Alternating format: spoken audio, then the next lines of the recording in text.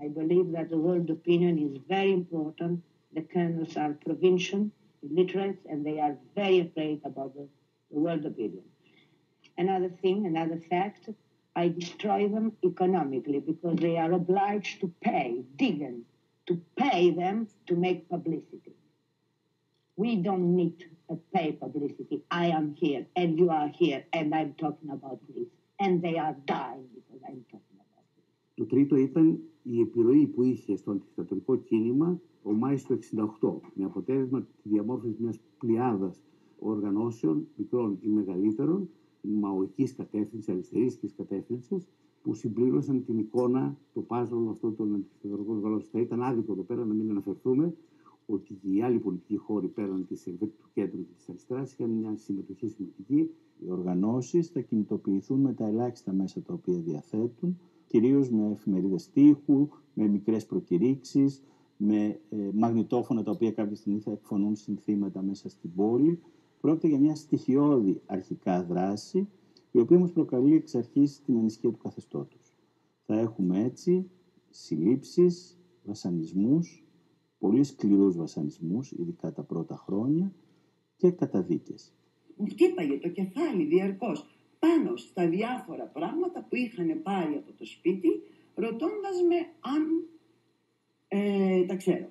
Και ταυτόχρονα μου εμφανίζουν και έναν εσατζή, λέγοντάς μου να τα πω όλα, γιατί αν δεν τα πω σε αυτούς θα με στείλουν σε αυτόν, και μου δίνει αυτός για να με τρομοκρατήσει και να με φοβήσει ένα χαστούκι στο αριστερό μου αυτή.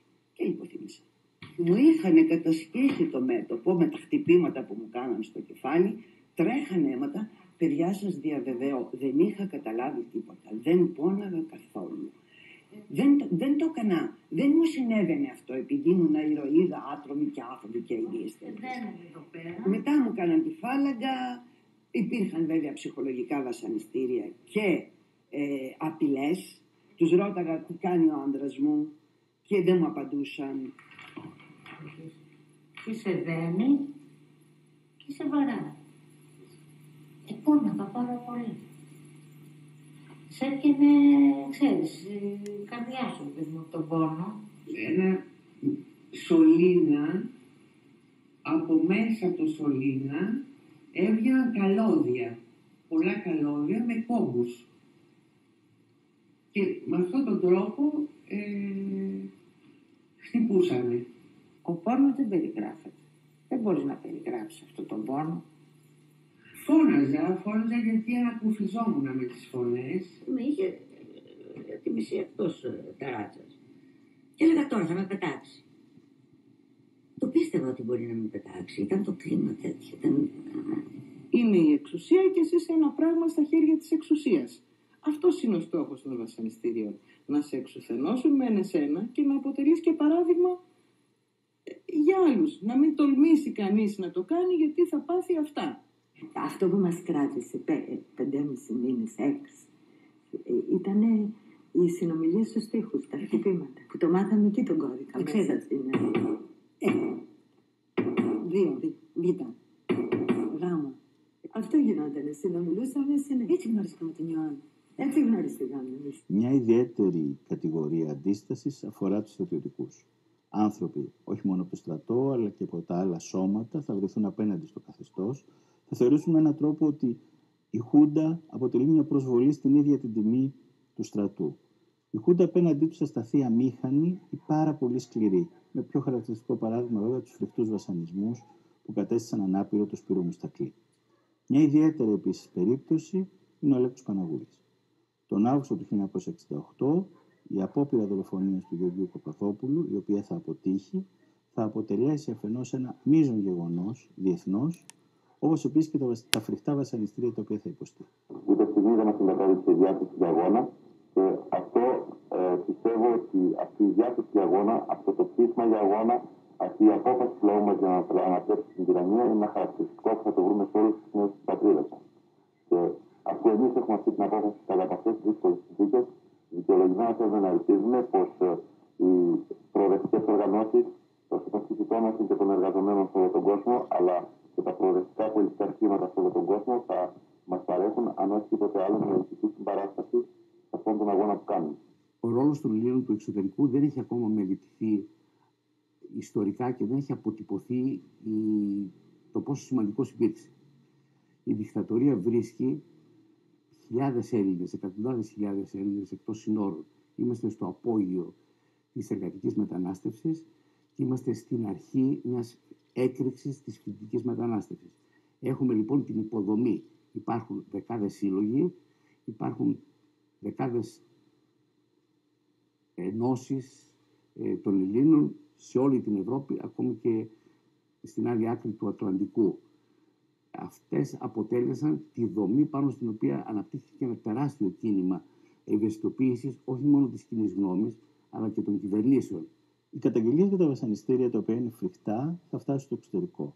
Παρόλο που στην Ελλάδα η πολιτική λογοκρισία δεν επιτρέπει στους ανθρώπους να μαθαίνουν τι συμβαίνει και θα πρέπει να σκεφτούμε συνολικά όλο αυτό το κλίμα τρομοκρατίας στη στιγμή εκείνη, στο εξωτερικό διοχετεύονται συνεχώς πληροφορίες.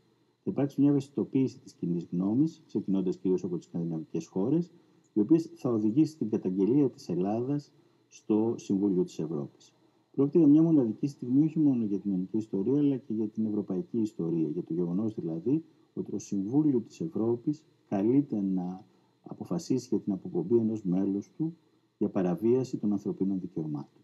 Η Χούντα αποχώρησε όταν είδε να προδιαγράφεται με μεγάλη έτσι, καθαρότητα να προδιαγράφεται η αποπομπή της από την, από την Ευρώπη και προτίμησε να αποχωρήσει η ίδια. Ήταν η πρώτη φάση όπου ξεκόβεται η Ελλάδα από τα δημοκρατικά καθεστώτα της Ευρώπης. Η καταδίκη είναι σημαντική, ακόμα και αν το ΝΑΤΟ, οι Ηνωμένες Πολιτείες είναι μονομένα οι ίδιες ευρωπαϊκές χώρες που καταδίκασαν την Ελλάδα στο Συμβούλιο της Ευρώπης, εξακολούθησαν να έχουν κανονικές σχέσεις με το στρατιωτικό καθεστώς. Όταν επιστρέφει ο Υπουργός Εξωτερικών Παναγιώτης Πουπινέλης από το Συμβούλιο της Ευρώπης, τα επίκαιρα τον παρουσιάζουν να γίνεται δεκτός περίπου ως λαϊκός ήρωας στο αεροδρόμιο ελληνικού. Την επομένη, στο Υπουργείο των Εξωτερικών, ο κ. Πιπινέλης, η συνέντευξή του προς τους αντιπροσώπους του ελληνικού και ξένου τύπου, ανεφέρθη στου λόγους οι οποίοι επέβαλαν την αποχώρηση της Ελλάδος από το Συμβούλιο της Ευρώπης, τονίσας μεταξύ άλλων και τα εξής. Ο αληθινός, ο πραγματικός παράγων δια την εναντίον της Ελλάδος εκστρατεία είναι το εν Ευρώπη άναρχο επαναστατικό κίνημα. Το Νοέμβριο του 1968 θα δοθεί η πρώτη δυνατότητα αντίδρασης αυτού του πλήθους. Στην κηδεία του Γεωργίου Παπανδρέου θα υπάρξει μιας τεράστιος συλλαλητήριο κόσμου και πάρα πολλοί μαζικές αντιδράσεις που θα οδηγήσουν στην α, παρέμβαση της αστυνομίας.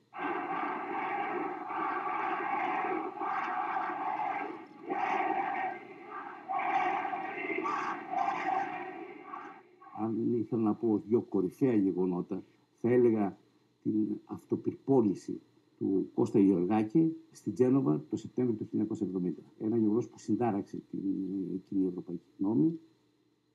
Και το δεύτερο, το τραγικό θάνατο του Γιώργου Τσικουρίκη της Αντζελόνη, οι οποίοι ε, επιχείρησαν να ανατινάξουν σχεδόν την Αμερικάνικη πρεσβεία το Σεπτέμβριο του 1970 βρήκαν δυστυχώς τραγικό θάνατο όταν ο εξαιρετικός μηχανισμός ε, πυροδοτήθηκε πριν από την ώρα.